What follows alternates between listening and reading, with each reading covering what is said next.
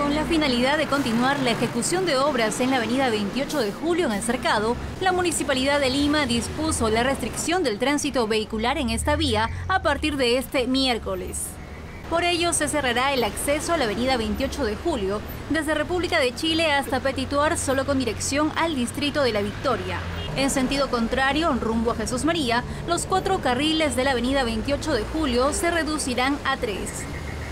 Usted viene por la avenida 28 de Julio y a la altura de la avenida Arequipa dobla sobre la margen derecha, camina dos cuadras, prácticamente se conecta con la avenida Arenales y nuevamente retorna por la calle Saco Oliveros, permitiendo nuevamente ingresar hacia la avenida Petituar, de tal forma que nuevamente toma la avenida, la avenida 28 de Julio.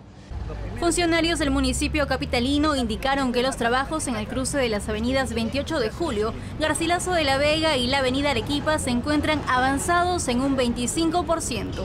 Ellos esperan que la obra sea concluida antes del primer semestre del próximo año.